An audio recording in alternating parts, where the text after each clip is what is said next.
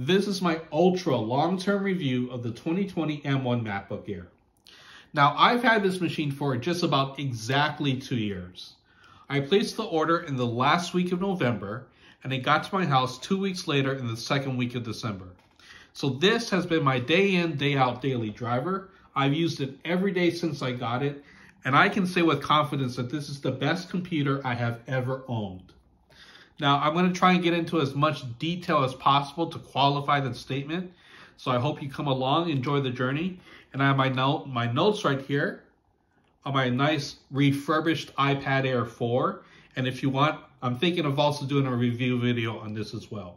So let's get into it. Now, my history with Macs goes back to October of 2003 with the introduction of OS X Panther. And at the time, I picked up an iBook G4, and the main draw to switching over to Mac was two things. First, it is based on the Unix operating system, meaning that the kernel is 100% rock solid. It doesn't crash or very rarely crashes. And second, I really love the introduction of Exposé when they showed it off at Worldwide Developer Conference 20, 2003. So just the draw of not having as many crashes as Windows, in addition to the use of Exposé, really drew me into buying a Mac. Now let's talk about the design and the aesthetic. Of course, the M1 Air comes in the iconic wedge shape, and it also utilizes a unibody construction technique. That means the entire case of the laptop is very stiff and robust, and it feels very well made. So if you open it up, First off, the display is not going to flex, and you can do a one finger open with your thumb of just opening up the laptop with one hand.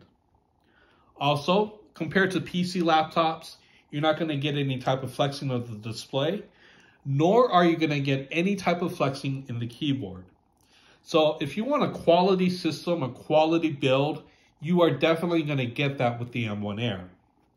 So all in all, through and through, from the keyboard to the palm rest to the trackpad. This is a very stiff, durable, and well-designed system. Let's talk about the display, keyboard, and trackpad. Starting off with the display, this panel is rated at 400 nits of brightness. That basically means that if you're using this computer indoors all of the time, you're not going to have any trouble seeing the screen, nor are you going to be lacking that much brightness. Now, if you take it outside in direct sunlight, or even if you take it out to a coffee shop, you may have issues seeing the things on the display. However, for my use case, I always keep this thing indoors, and because of that, I have no problem seeing the screen whatsoever. Talking about the keyboard now, this is a very nice backlit keyboard that utilizes the classic scissor switches. So of course, Apple went through a couple of years where they had the debacle concerning the butterfly switches, and that thing just died. It was destroying computers left and right because you can't type on the damn thing. Now, when it comes to this using scissor switches, I have not had a single trouble typing with this keyboard going back two years. So the scissor switch mechanism is tried and true. It is perfected. The feel and the uh, travel of the keys is great. I can type pretty fast on this keyboard. So when it comes down to really use, utilizing a laptop, Two of the most important factors are the keyboard and of course the trackpad. Now the trackpad is phenomenal. It's got perfect tracking when you're using your mouse or your cursor. It can be very precise when you need it to be, but it also has a nice amount of acceleration to it so you can get your mouse to wherever you need it to go. It is also a force touch trackpad, which basically means that the, the, the pad itself does not depress or go down anywhere. It utilizes a haptic engine or a haptic motor embedded underneath the trackpad. And because of that, that's going to simulate the clicking of, of a real mouse. However, at the same time, the trackpad itself isn't going anywhere. And because of that, the haptic feedback is very precise. It does what you need it to do. And you can tell when you're actually clicking on the pad itself that that vibration motor is fine tuned to almost perfection so you know, so you know when you are pressing on this trackpad. When it comes to audio, you're going to be getting an average experience. This laptop cannot compare to the 14 or 16 inch MacBook Pro, so I would lower your expectations when listening to audio on it. Um, you know, it does get loud, but there's no real bass definition. And um, yeah, it's just kind of lackluster. It's average. You'll get by. There's speakers.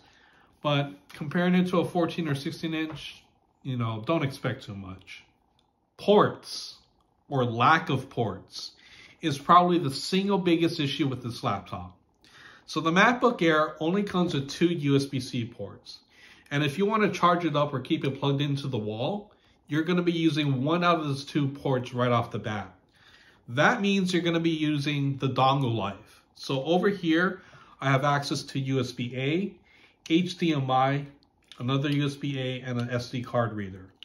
Also, if you want to include gigabit ethernet, you have to make sure that you get a dongle that supports hardwired ethernet. So these aren't too bad. This is a pretty small one that slips into my bag. But just be aware, if you want external connectivity, you're going to be ending up getting the dongle. Now, on top of that, in terms of HDMI and video display support, the MacBook Air only supports one external display at 4K resolution, 60 hertz refresh rate. So if you have a really high-end monitor with a high refresh rate, this computer is not going to be able to support it. And when you hook it up externally, you're going to have just the internal built-in screen, and you're going to have a screen like me back there, my Dell UltraSharp. So keep that in mind when it comes to buying a MacBook Air. If you like to use multiple monitors and if you really need that screen real estate, this machine is probably not for you. When it comes to wireless connectivity, I haven't had any issues with the M1 MacBook Air. So there are reports that the Bluetooth on the Mac Mini, the M1, is kind of flaky. And same thing, I've seen some Wi-Fi issues pop up here and there with the M1 Mac Mini. But in my experience using the M1 Air, I haven't had a single dropout in Wi-Fi or Bluetooth using this computer. So I can say with confidence that there aren't really any type of things you have to worry about in terms of the wireless system inside of this computer. Specs and performance, let's get into it. Now, whenever I configure a system from Apple, I like to make sure it's going to last at least five to seven years. So because of that, I upgraded this thing rather considerably. I took it from 256 gigabytes of storage up to a full terabyte, and I also doubled the RAM from 8 to 16 gigs of RAM. So I maxed out the RAM in this computer. So this is a very robust machine that I'm confident is going to last 5 to 7 years. Now, when it comes to processor intensive stuff, all I use is iMovie, and I'll use Handbrake to, tr to transcode Blu-rays and it does both tasks very well. Now, what I think really helps my situation in terms of editing is having the 16 gigs of RAM because I've only been able to make this thing run out of RAM maybe three times in two years. So I am pretty careful. Like when I have a lot of Chrome tabs going, I'll keep it in the background and I re won't really swap back and forth. So if I have a really intensive Chrome session, I'm not going to be running Final Cut. If I'm editing, I say in iMovie. If I'm editing in iMovie, I'm going to close down my web browser. So I'm very judicious when it comes to RAM management. And because of that, I, I've only seen it hit the swap file like maybe three times. So having 16 gigs of RAM, I believe should be the minimum in 2022 if you really want to get the most smooth experience possible. I also upgraded the SSD to a full terabyte. That's because I don't like editing off of uh, external drives. I like to have all my storage local in, inside of the laptop. So because of that, that's why I upgraded the storage. So when it comes to performance, this thing is a very good performer. Now, I am going to tell you that if you look at Handbrake in particular, when it comes to transcoding, you are going to get a much better experience if you're using the 14 or 16 inch MacBook Pro. And the reason why is because it doubles the amount of performance scores. So theoretically, when I see Handbrake encodes, a Handbrake encode on the M1 MacBook Air is going to be about twice as long as doing an encoding on a 14 or 16 inch MacBook Pro with the M1 Pro chip. So that's just something to keep in mind. If if if you use your laptop or your system as your bread and butter, if you're making money off of it or if you're taking your hobbies very seriously, I would say skip the MacBook Air and go straight up to the to the Pro. Now, when it comes to performance, however, yes. So after about five or 10 minutes of use of intensive processor utilization, this machine will throttle the CPU because it is passively cooled, meaning there is no fan. And because of that, the chip is going to throttle. However, when I use Handbrake, for instance, it doesn't really affect it that much. I may go from transcoding to at 160 or 170 frames per second, and over time, that encode is going to go down to about 140 frames per second. So even though you're running the CPU at a 100% tilt and handbrake, you're not going to be losing that much performance. And I also have to mention heat. This machine, it gets warm, it does get hot, but it's never super uncomfortable. And because of that, I'm going to talk about this compared to the M2 processor. Now, I have a lot of issues with the M2 and this is why I'm going to always recommend the M1 Air over the M2 Air. The reason why is because Apple says that they got an 18% increase in single, port, single core performance. But the way Apple got to that 18% increase is they had to increase the wattage going into the chip.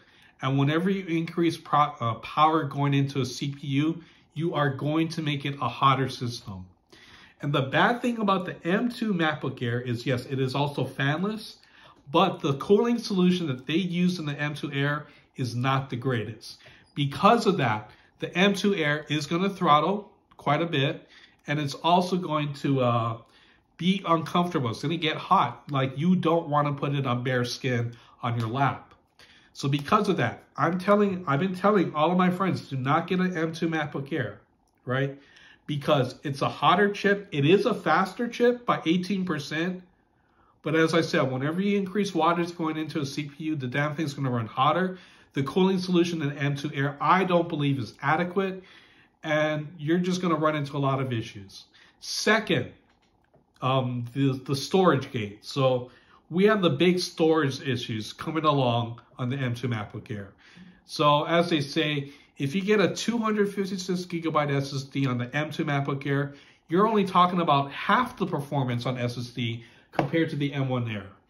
So the SSD in the M1 MacBook Air on this system, I get about 2.8 gigabytes per second on the read and maybe about 2.5 or 2.6 gigabytes on the write. So I'm going to pull up the pictures. I'm going to pull up my, my uh, speed scores and you can see it on the screen. But the SSD is slower in the M2. Combined, if you use the base model and only get 8 gigabytes of RAM on the M2 base model, you are asking for trouble the machine is going to throttle. The machine is not going to be able to video edit, at least in Final Cut Pro. So you're going to run into issues if you buy the base model M2 MacBook Air. If you buy the M1 base model MacBook Air, it's good. It's going to perform better than the more expensive M2 chip, the M2 Air. And that's why I have a lot of issues with that computer. And that's why I tell all of my friends if they're looking for a Mac, if they're looking for something lightweight and portable, I'm guiding them to the M1 MacBook Air because it does perform, it is that good, and it is a stable platform. When you're buying a laptop, of course you want to be able to take it away from the office, away from your desk, and you just want to go other places and work. Maybe on an airplane, maybe in an airport terminal, things like that. So of course we're going to have to focus on battery life. Now when you first get the M1 Air, the battery life is insane. Like I was able to take it off of the charger for a full hour before the battery life would dip from 100% to 99 or 98%. So out of the box, I believe the M1 MacBook Air is rated at about 18 hours of battery life. And you're really going to feel it when you first have the system. Now, one of the few disappointments I have with this is the battery life over two years. So on my computer, I have 168 cycles and 88% battery health. So that sounds pretty good, right? 88% battery health after two years. However, when I look at the actual use of my system, I've gone from about 18 hours of use down to maybe about 9 or 10 hours. So when I do leave it unplugged from the wall, I can see the battery percentage dropping as I'm using this computer on battery. So I would say because of that, going from 18 hours down to about 9 or 10, Yes, that is still phenomenal for a laptop this size. However, you got to consider that coming from 18 to 10 in two years is a little bit disconcerting. And because of that, I tend to leave this system plugged in all the time just because I don't want to have to worry about battery. Finally, let's talk about MagSafe and the camera. So one thing that the M2 Air has, which is MagSafe, is something that I'm really jealous of, USB-C, the problem with it is if you yank the cord, chances are you're going to take the computer with it. So MagSafe really was that, that nice peace of mind to have built into the computer, knowing that I wouldn't take my, my computer off the table if anything happened to it. So that's why I really like and miss MagSafe on the M1 Air. And finally, let's talk about the camera. The camera in the M1 Air is just trash. It's grainy. It's oversaturated. It's not oversaturated. It's grainy. It's not sharp. It's blurry. It's just a bad camera. So comparing the M2 Air with the 1080p webcam, that is a considerable difference, and that's something that I wish I had on the M1 Air is a 1080p camera. However, it isn't too bad. With the advent of Ventura, you can use your iPhone's camera in place of the webcam on your on the M1 Air. So if you do upgrade to Ventura, that's a nice feature to have. It's really innovative. I like it a lot and it's convenient. So that's all I have to say about the M1 MacBook Air the best computer I have ever owned. It's got the performance, it's got the the thinness to it. It's not heavy at all. And I know that this system is going to last me at least five to seven years.